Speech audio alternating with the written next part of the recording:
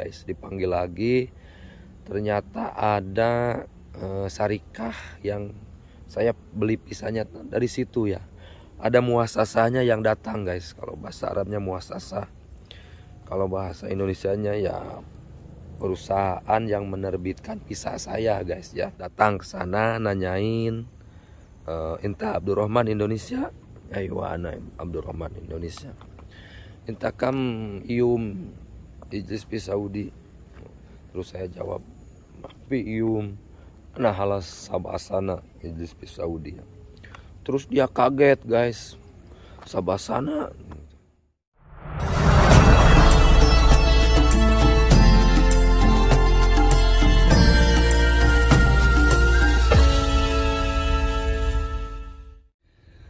Assalamualaikum warahmatullahi wabarakatuh. Selamat datang semua di vlog saya. Bagaimana kabarnya? Mudah-mudahan teman-teman sehat selalu. Allah mudahkan rezekinya Allah mudahkan segalanya.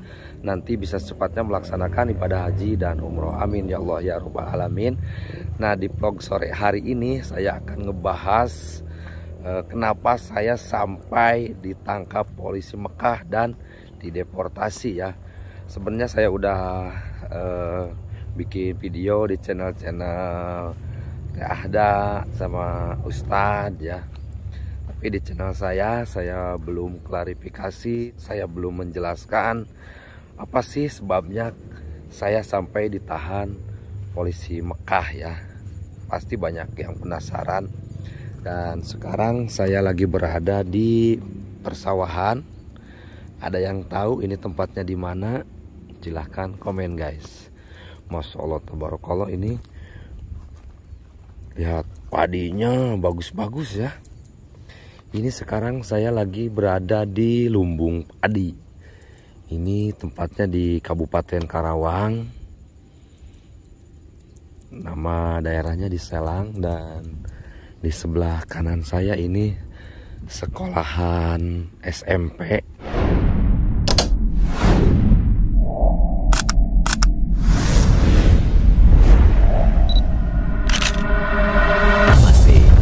It's different. Dulu saya sekolah di sini ya. SMP dan sekarang anak saya sekolah di sini juga guys. Baru kelas 3, mungkin sekitar 9 bulanan lagi anak saya keluar ya, keluar SMP dan nanti masuk ke SMA ya.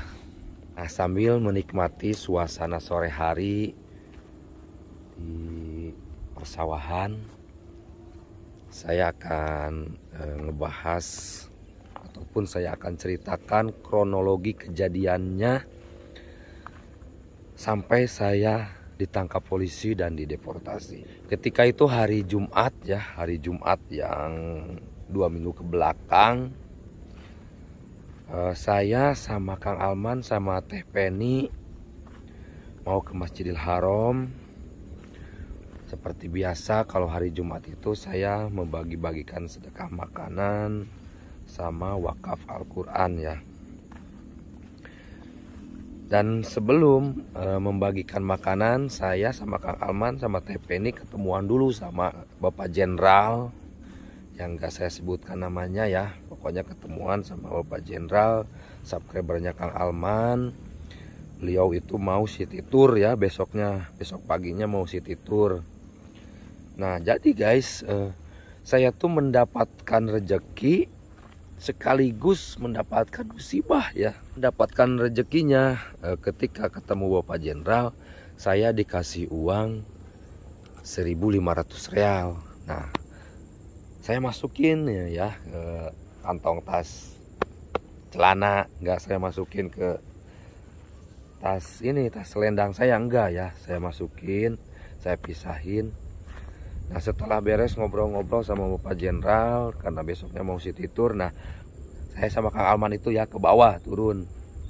Nah setelah itu udah ada asar, biasanya saya sama Kang Alman sama Teh itu sholat asarnya di Tower Sofa. Nah tiba-tiba hari Jumat ini saya sholatnya di dekat WC nomor 6 ya WC nomor 6 yang ke arah yang ke sininya ke arah Mispalah. Nah itu saya sholat sama Kang Alman berdua di sebelah sananya TP nih ya. uh, terpisah sama Teh Penny di bagian perempuan. Nah setelah beres sholat asar saya telepon sama Teh Penny Teh di mana? Nah udah ketemuan. Mungkin TP ini di sebelah sana jaraknya kurang lebih 10 meteran terus saya sama Kang Alman berdampingan. Dan ketika itu pokoknya kejadiannya cepat sekali teman-teman ya.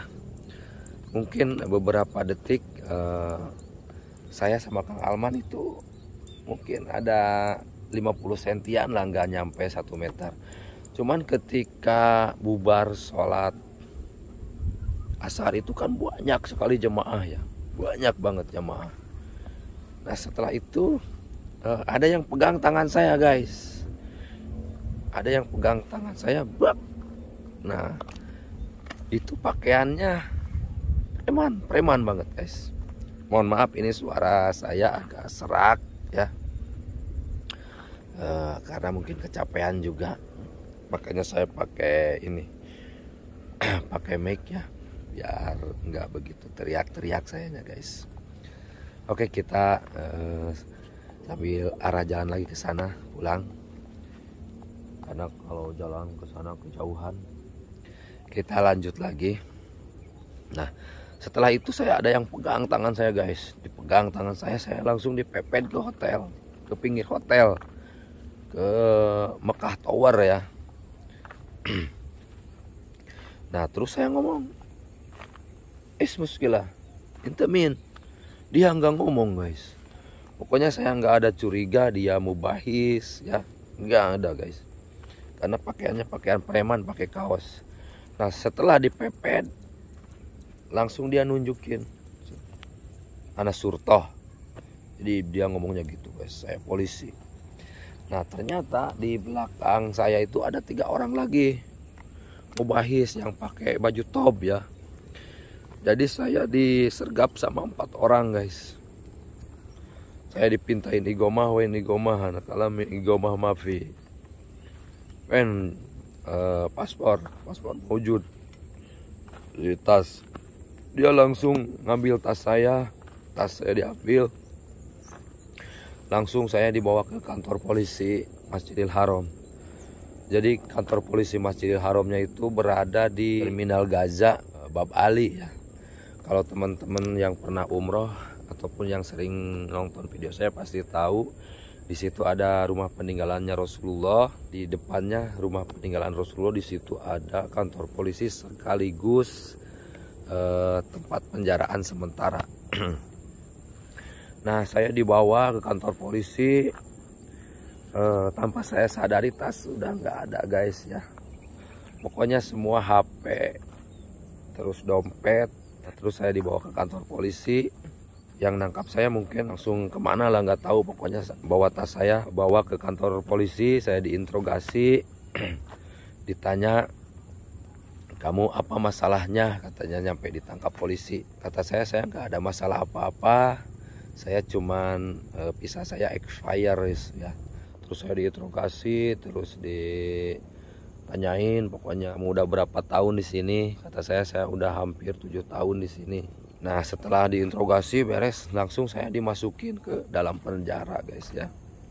Di situ pertama ada saya seorang cuman alhamdulillah di situ saya diperlakukan dengan baik walaupun di dalam itu yang nggak ada jam tapi di dalam itu ada tempat tidur kasur sama selimut ya nah di situ saya nggak tahu pokoknya nggak tahu hari nggak tahu malam nggak tahu siang ya. Karena di situ benar-benar tertutup guys. Saya sedih banget. Saya nangis saya teringat istri teringat anak Kang Alman Eveni Dedo ya. Saya nangis di situ guys. Pokoknya nggak ada lagi orang yang mau saya minta tolong guys. Siapa? Saya nggak bisa telepon karena HP saya disita ya pokoknya setelah dijeblosin ke penjara itu saya nggak nggak ada kesempatan untuk ngasih kabar. Nah di kota Mekah saya di penjara kurang lebih ya tujuh hari. Nah di situ saya berdoa ngeyasin ya. Pokoknya terus saya ngeyasin. Terus di situ saya sholat duha ngeyasin terus nah alhamdulillah ada panggilan guys. Saya diinterogasi lagi di situ ditanya e, apa salah kamu? Kenapa kamu sampai ditangkap polisi? Gitu ya. Dan saya ditanyain juga pokoknya diinterogasi lah e, sama polisi itu. Banyak banget pertanyaan yang dilontarkan terhadap saya. Cuman ya itu tadi saya nggak ada masalah apa-apa saya ditangkap polisi karena visa saya udah expire gitu teman-teman. Saya jawabnya gitu. Saya diinterogasi sama polisi terus di situ ada data-data apa ya pokoknya ada nama-nama orang Indonesia setiap yang mempunyai media sosial YouTube, Facebook, uh, Instagram di situ ada data-data semuanya. Terus saya ditanya uh, kata polisi Arab itu inta arif wala may arif pada kulun nafar Indonesia. Terus saya jawab wallahi ana ma arif. Udah gitu aja guys ya. Jadi sekarang semua youtuber terus pokoknya youtuber-youtuber yang ada di Arab Saudi yang bukan di Arab Saudi maupun Mekah Madinah eh, Instagramnya semuanya udah ada data-datanya guys ya. Pokoknya harus hati-hati. Pokoknya nanti saya eh, bahas di vlog berikutnya. Sekarang saya akan ngebahas dulu eh, saya sampai ditangkap polisi. Ternyata data saya tuh udah ada sejak lama guys ya. Sejak lama udah ada. Saya udah dicari sama kepolisian Arab Saudi. Ya memang bisa saya itu udah expire. Yaitu expire bukan kesalahan saya sih. Saya kan dari Indonesia datang ke Arab Saudi untuk kerja. Saya juga kalau dibikinkan KTP sama majikan saya nggak bakalan keluar dari kota Jeddah. Saya nggak bakalan pindah ke Mekah. Karena saya nggak dibikinkan igoma ya otomatis. Kalau saya kerja di situ-situ aja nggak bakalan ada kemajuan guys saya dijanjiinnya gaji 1500 tiap dua tahun sekali bisa pulang tapi kenyataannya enggak guys. Nah setelah diinterogasi saya sama polisi kata polisinya mapi muskilah lathop kata polisinya. E, mungkin inta bukroh wala bada bukroh ala safar Indonesia. Entah awal marasah MC Surto aywa uh, saya bilang anak awal marah MC Surto. Baik mabe muskala uh, entah mungkin bukro wala bukro ru Indonesia. Uh, gabal ru Indonesia entah harus uh, ruh tarhil. Uh, mungkin uh, kamium uh, namanya Arif. Jadi gitu kata polisinya. Mungkin Hom Sayum Sabah Yum ente sapar Indonesia. Aden ilahala sapar Indonesia mungkin inta wahid sana itnen sana wala talata sana uh, badan ijitani Arab Saudi mati muskilah gitu katanya guys ya jadi untuk saat ini ya mungkin satu bulan dua bulan sampai enam bulan saya belum bisa berangkat ke Arab Saudi harus nunggu satu atau 2 sampai 3 tahun baru bisa berangkat lagi ke Arab Saudi guys ya untuk umroh ataupun haji. nah, setelah saya ditanya-tanya guys, saya dimasukin lagi tuh ke penjara. Nah, di situ saya nangis lagi ya. Saya berdoa sama Allah ya Allah. Jika memang saya bisa keluar dari sini, maka keluarkanlah saya, bebaskanlah saya jika memang saya harus pulang ke Indonesia, maka saya pulangkanlah ya Allah. Di situ saya sambil berdoa, nangis, sambil ngaji, ngeyasin. Pokoknya nggak ada lah siapa lagi yang mau saya pinta tolong kecuali hanya sama Allah. Nah di situ saya benar-benar merasa doa saya terkabulkan teman-teman. Setelah saya dipanggil sama polisi Arab sama mudirnya, mungkin ya besoknya lagi saya dipanggil lagi guys dipanggil lagi ternyata ada e, sarikah yang saya beli pisahnya dari situ ya. Ada muasasanya yang datang guys. Kalau bahasa Arabnya muasasa. Kalau bahasa Indonesianya ya perusahaan yang menerbitkan visa saya guys ya. Datang ke sana nanyain Inta Abdurrahman Indonesia? Ayo ana Abdurrahman Indonesia.